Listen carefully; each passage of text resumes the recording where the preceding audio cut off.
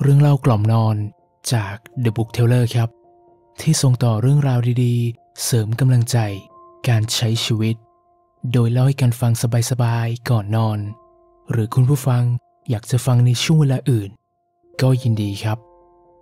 ในตอนนี้ขอเสนอเรื่องที่มีชื่อว่า เจ้าชาย แตงโม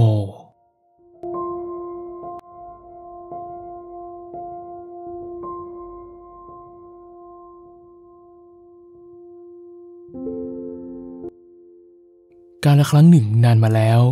มีแตงโมวิเศษอยู่ต้นหนึ่ง เป็นของเจ้าชายแห่งเมืองพระเจ้าเหา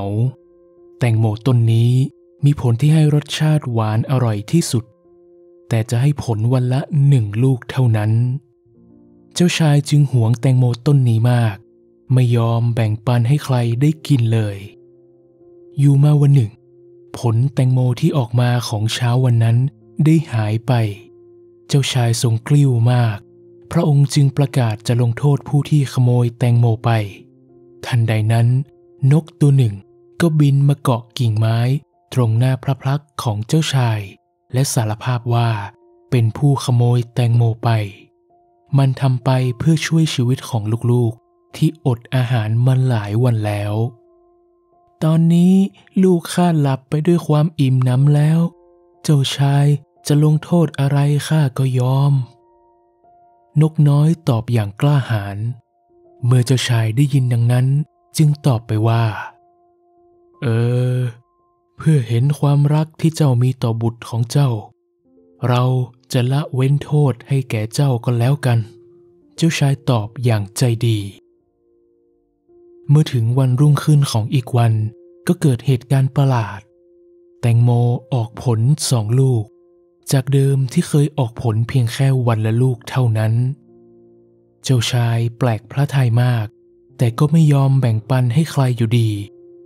วันถัดมาแตงโมที่ออกมาสองลูกได้หายไปหนึ่งลูก เจ้าชายทรงกลิ้วมากเหมือนเคย จึงรับสั่งให้ทหารออกตามจับหัวขโมยให้ได้ ทันใดนั้นก็มีหนูตัวเล็กๆ วิ่งมาสารภาพว่า เป็นผู้ขโมยแตงโมไป มันทำไปเพื่อช่วยชีวิตของแม่ที่กำลังป่วยหนัก ตอนนี้แม่ของข้าก็หายป่วย เพราะแตงโมวิเศษของท่าน ท่านจะลงโทษอะไรข้าก็ยอม เจ้าชายเห็นแก่ความดีของหนูจึงตอบไปว่า เพื่อเห็นแก่ความกตัญญูของเจ้า เราจะละเว้นโทษให้แก่เจ้าก็แล้วกัน วันรุ่งขึ้นก็เกิดเหตุการณ์ประหลาดยิ่งขึ้น แตงโมออกผลเป็นสามลูก เจ้าชายแปลกพระทัยยิ่งนัก แต่ก็ยังคงไม่ยอมแบ่งปันแตงโมให้กับใคร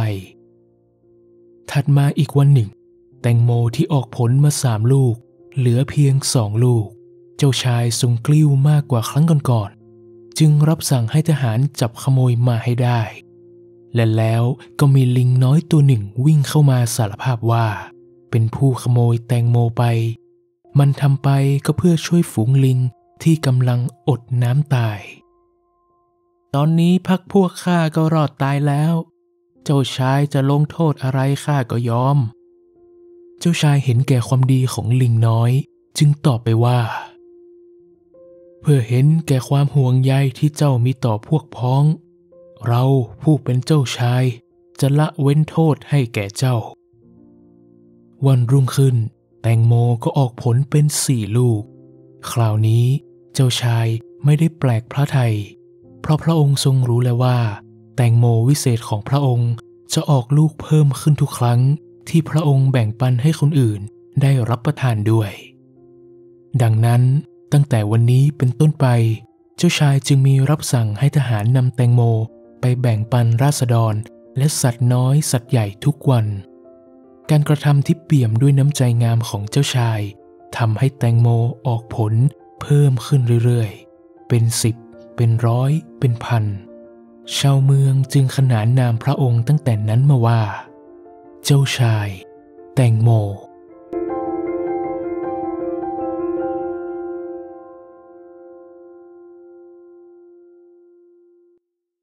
การให้หรือการแบ่งปันด้วยใจที่บริสุทธิ์ คือความเจริญของจิตวิญญาณที่งดงาม มีคุณค่าและผาสุกที่สุดในโลก ขอบคุณที่ติดตามเรื่องราวดีๆ จาก The Book Teller นะครับ ผมเชื่อว่าเรื่องราวดีๆ จะสามารถพัฒนาให้ตัวของเรา เป็นในแบบที่ดีขึ้นได้ ขอให้คุณนั้นมีกำลังใจ มีพลังใจในการใช้ชีวิตที่ดีขึ้นนะครับ